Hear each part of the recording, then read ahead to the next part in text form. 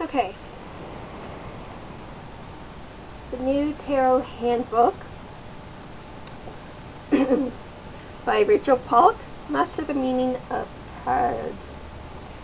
And I'm pretty sure, I thought I'd done a review this, on this already, but I was looking at my stuff and apparently not. um, I have about like this.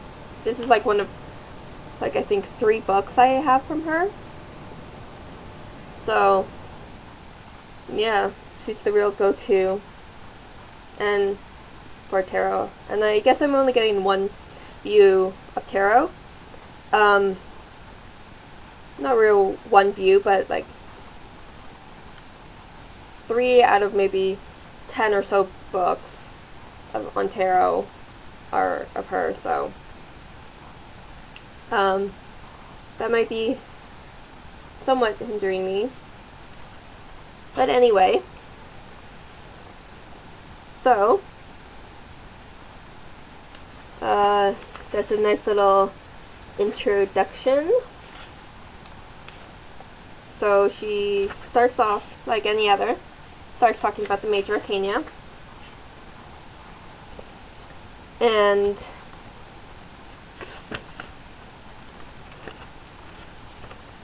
so she gets, this is how she um, divides looking at the cards.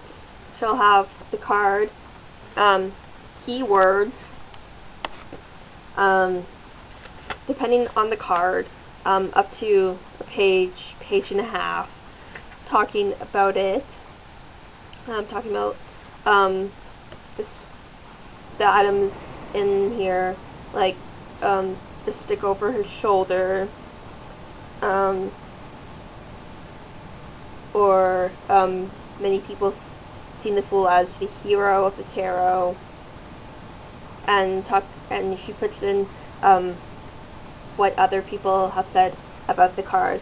Um, she'll put in quotes from A.E. Waite into um, the cards since she is using, like everybody else, using his deck because it is the common deck. Um, at the end, she'll put um, the meanings um, upright and reversed. Um, so if you use both um, upright and reversed, the meanings are there. And if you just use um, upright meanings in your readings, you can just cancel out what she has to, for reversed. Um, and she also has a reading for each of the cards. So, a reading for the Fool, um, that's what it looks like.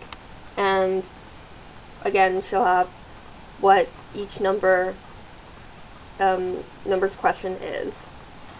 So, like number one, how do uh, um, how have I been a fool in my life? Um, how has it helped me? Hurt me? Um, where in my life do I need to be more foolish? Where will the fool not serve me? What gifts does the fool bring me? So, those are the six um, for the reading. So, once again, um, she'll go on. She, that's for the magician. Um, yeah, so it'll be like that for everyone. So, um, yeah, so there's the hangman, a reading for the hangman.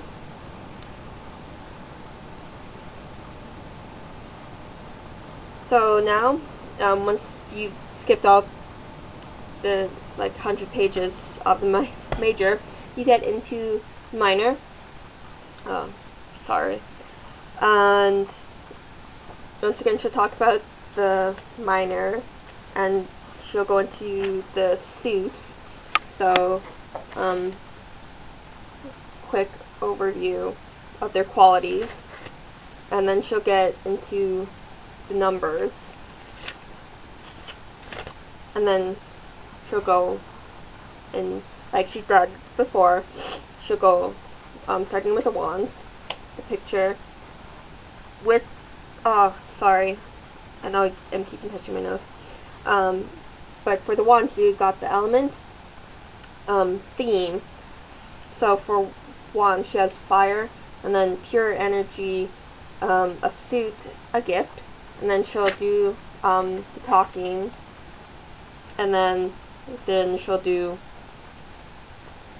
the meanings. Um, she won't do a reading for each of the card, but she will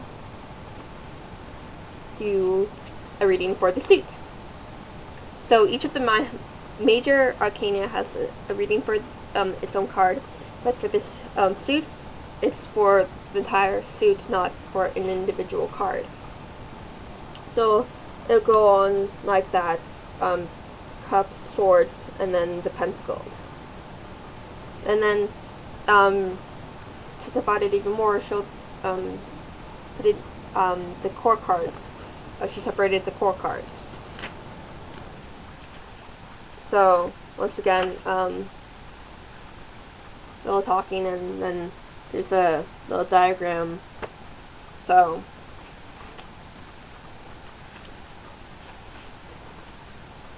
there. And then, um, once again, starting with the wands, she'll have um, element, elemental, combination, physical quality, theme, um, small talk, and then the meanings. And so it'll go on like that for the other ones. So.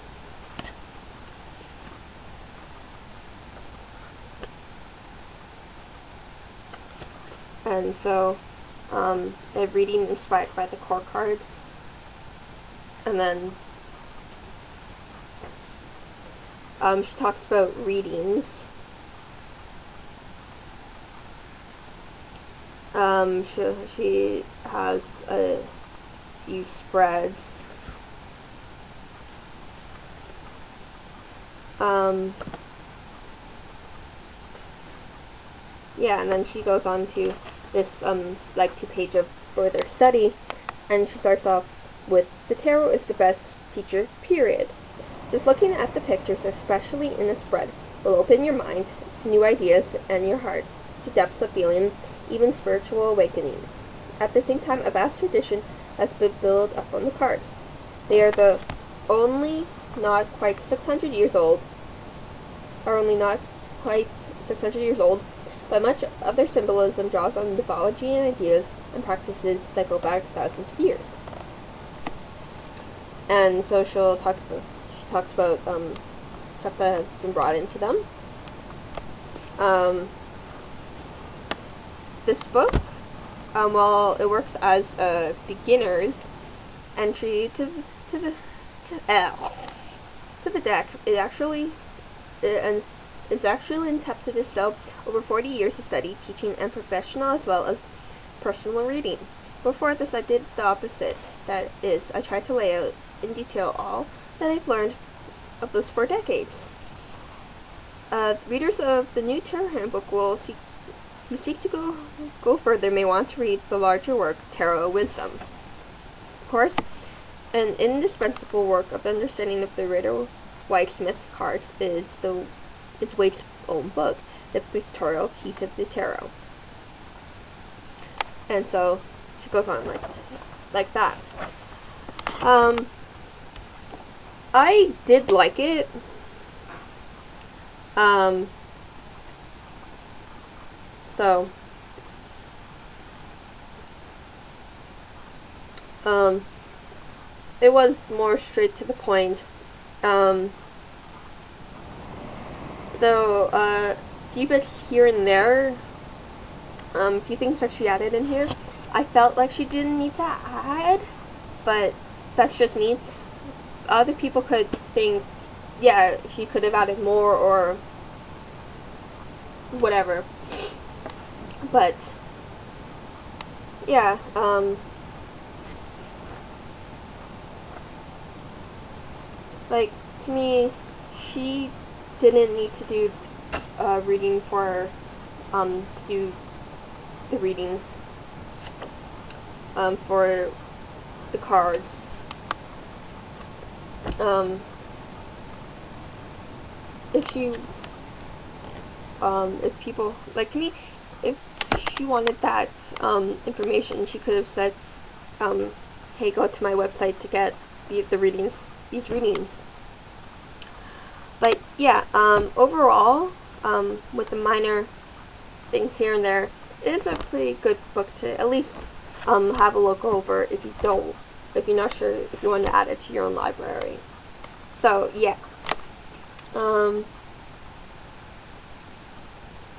yeah, that's my point there. So once again, that's what it looks like. The New Tarot Handbook by Rachel Pollack. So, happy readings.